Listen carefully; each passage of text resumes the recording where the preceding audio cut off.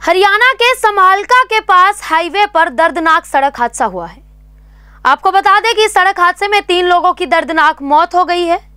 हादसे के कारण काफ़ी देर तक हाईवे पर जाम भी लगा रहा और हादसे के कारण चीख पुकार भी मच गई। हादसा उस समय हुआ जब पानीपत में खड़े ट्रक ने पिकअप वैन में टक्कर मार दी। बताया जा रहा है कि इस हादसे में आठ लोग घायल भी हो गए हैं। मृतक और घायल सभी छत्तीसगढ़ के अलग अलग गाँव के रहने वाले बताए जा रहे हैं।